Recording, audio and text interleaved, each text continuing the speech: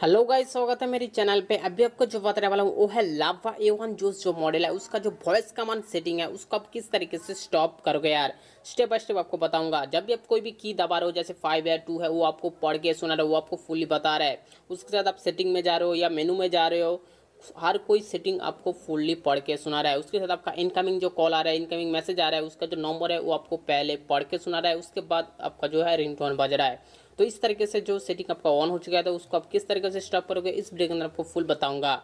इसको स्टॉप करने आपको पहले जो करना पड़ेगा, आपका फ़ोन का जो मेनू बटन है, उसको आपको ओपन कर लेना है।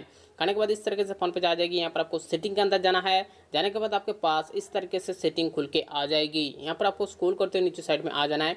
बहुत सारा फ़ोन के अंदर जो होती है किंग वॉइस रहती है या बहुत सारा सेटिंग रहता है, इसके अंदर उस तरीके से नहीं लिखा रहता है इसका ठुक अलग सा है। यहाँ पर जो लिखा रह सकते लाभा बॉल सेटिंग यहाँ पर देख सकते तो ये सेटिंग आपको देखने को मिलेगी टोटल नीचे साइड में जो टेन नंबर है, उसके अंदर देखने को मिलेगी। वहाँ से आप ओके करके इस सेटिंग के अंदर आ जाना। यहाँ पर जितना भी आपका वॉइस कमांड है, वो आपको एक एक करके देखने को मिलेगी।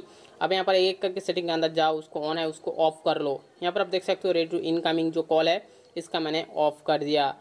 यहाँ पर और भी है। एक एक करके आप यहाँ पर कॉल कर लो। यहाँ पर मेनू बटन को मैंने ऑफ़ किया। जो अभी मेनू बटन क्लिक करते था, आवाज़ होता था मैसेज भी मैंने यहाँ पर स्टॉप कर दिया। अभी मैसेज भी जो आएगा, कोई भी साउंड करके नहीं बताएगा। कोई भी मैसेज का नंबर नहीं बताएगा। इस तरीके से आप इजीली स्टॉप कर सकते